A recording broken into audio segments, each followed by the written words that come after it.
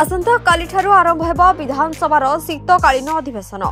ଅଧିବେଶନକୁ ସୁରୁଖୁରୁରେ ଚଳାଇବାକୁ ଆଜି ବାଚସ୍ପତି ପ୍ରମିଳା ମଲ୍ଲିକଙ୍କ ଅଧ୍ୟକ୍ଷତାରେ ବସିବ ସର୍ବଦଳୀୟ ବୈଠକ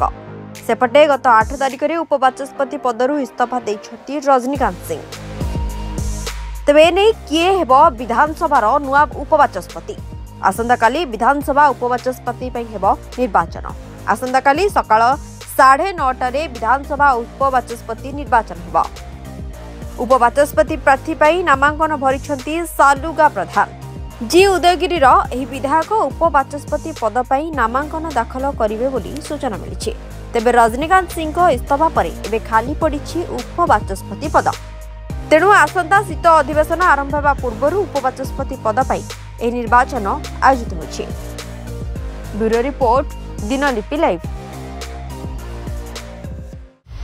আশা করুছু ভিডিওটি আপনার ভাল লাগি এভাবে অপডেট খবর জাঁয়া দিনলিপি লাইভ সহ যোড়ি রুহতু আমার চ্যানেল লাইক সেয়ার সবসক্রাইব করতু এবং বেল আইকন ক্লিক করতু ধন্যবাদ